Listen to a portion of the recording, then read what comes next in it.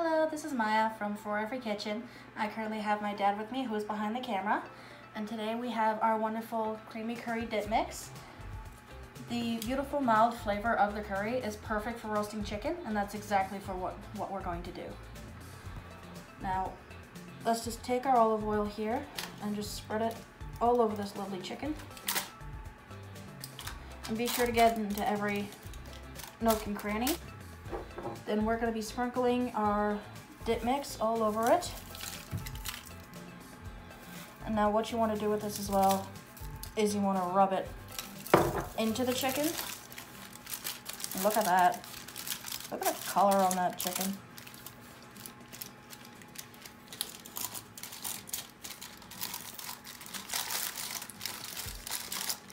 Now once you've got the mix all over it, you're gonna throw it into the oven at 400 degrees Fahrenheit for an hour and 20 minutes. And we'll see you then.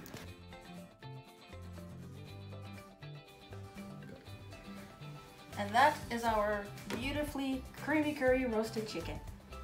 You can uh, find this product and many others at facebook.com slash fekfood, that is F-E-K food, and we will see you there.